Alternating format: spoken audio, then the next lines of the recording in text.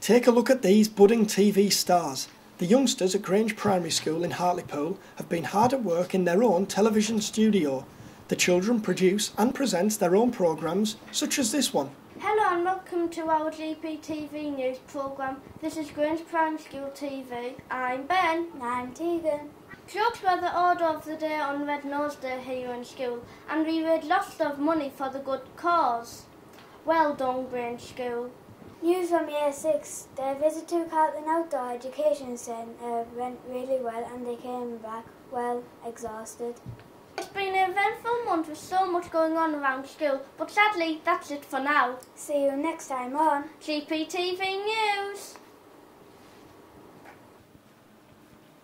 Once the work in front of the camera is done, it's over to the computer to start the editing. Then the programme is uploaded onto the school's own online channel. I'm Emily Adams and I'm a Year 6 pupil.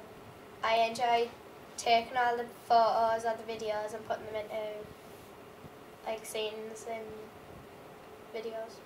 And, and how easy is it to use the cameras and to... It takes a while to get used to them, but after a while it's easy. My name's Sheila Walker, I'm the media supervisor in Grange Primary School. It's a really motivational tool and um, it improves confidence and raises self-esteem.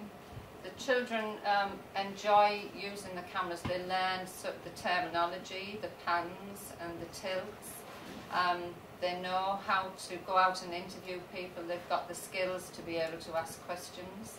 They can take out um, the skills that they learn here and hopefully go on to a job in media. I'm Ethan Ludford I'm a year 6 pupil. I like to do the editing on the computers when we film something. It's just like I like to be able to sort everything out and put stuff together. And do you think you'd like to have a, a career in maybe TV or radio or something like that? I don't know, but it'd be good if I did.